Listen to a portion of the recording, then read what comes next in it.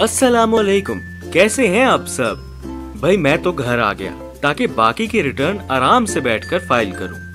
अब हमने अपने असासों, यानी एसेट्स के बारे में डिटेल्स डालनी है।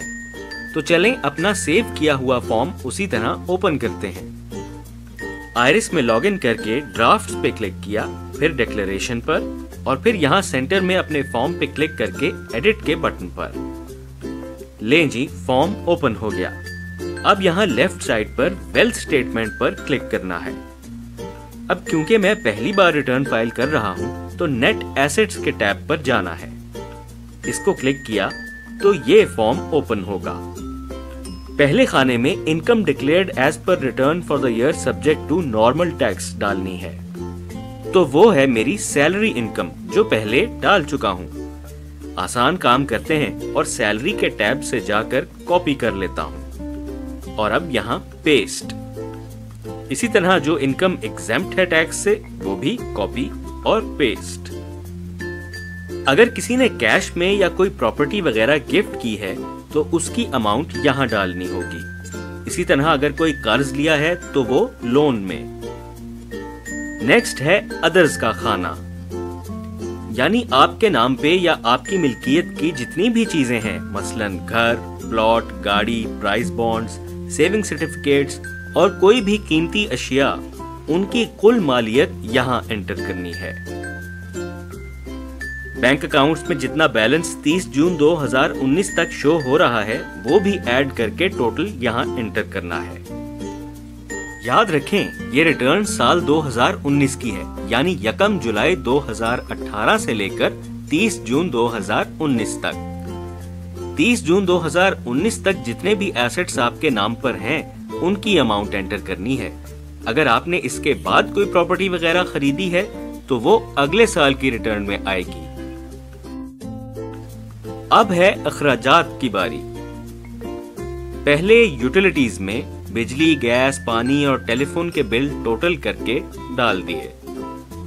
हाउस होल्ड एक्सपेंसेस में साल का जितना खर्चा अंदाजन हो जाता है, वो टोटल एंटर किया। फॉरेन ट्रैवल अगर किया है तो वो खर्चा। मैं दुबई गया था तो उस पर लगभग इतना खर्चा आया। एजुकेशन एक्सपेंसेस में बच्चों की फ़ीस वगैरह का टोटल और अदर्स में और कोई अखराजात हैं तो वो एंटर करने हैं। जैसे रेंट मेडिकल यानी डॉक्टर्स की फ़ीस वगैरह पे खर्चा, और जक़ात दी है तो वो भी ऐड करके यहाँ अदर्स में एंटर कर दिए एक बार फिर याद रखें, ये सारे अखराज की तफसील यकम जुलाई 2018 से 30 जून 2019 तक की डालनी है। अब नेट एसेट्स करंट ईयर यानी इस साल में आपके नाम पर जितने असासे हैं, जैसे आपने ऊपर लिखे हैं, वो दोबारा यहाँ लिखते हैं। और पिछले साल जो नेट एसेट्स थे, यानी यकम जुलाई 2018 से लेकर 30 जून 2019 तक जितनी सेविंग्स की हैं और जो चीज़ें खरीदी हैं, उनकी अमाउंट्स निकाल कर जितना बनता है, वो पिछले साल के नेट एसेट्स हुए। तो वो अमाउंट यहाँ एंटर कर दी। अब कैलकुलेट पर क्लिक करते हैं। यहाँ अनरिकनसाइल्ड अमाउंट में ज़ीरो आना चाहिए। अगर नहीं आ रहा तो इसका मतलब कोई खर्चा आप मिस कर रहे हैं। क्योंकि फिर रिटर्न फ़ाइल नहीं हो सकती। एक दफ़ा फिर से पूरी रिटर्न को देख लें और तसल्ली कर लें कि सब अमाउंट्स ठीक डाली हैं, क्योंकि सबमिट होने के बाद रिटर्न चेंज नहीं हो सकती। अगर मेरी तरह अनरिकनसाइल्ड अमाउंट में ज़ीरो है तो यहाँ वेरिफिकेशन के टैब पर क्लिक करें। रजिस्ट्रेशन के वक्त जो चार डिजिट्स का पिन कोड मिला था, वो यहाँ एंटर करें। और वेरीफाई पिन पे क्लिक इसके बाद बस ऊपर सबमिट का बटन क्लिक करना है। ले जी, मेरी टैक्स रिटर्न तो फ़ाइल हो गई।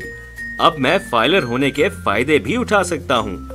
हाँ अगर आपकी कोई टैक्स अमाउंट एडमिटेड टैक्स के खाने में आ रही है तो उसके लिए पेमेंट का भी आसान तरीका है। उसके लिए आप देखें टैक्स पेमेंट की वीडियो मैं तो बन गया प्राउड पाकिस्तानी टैक्स फाइलर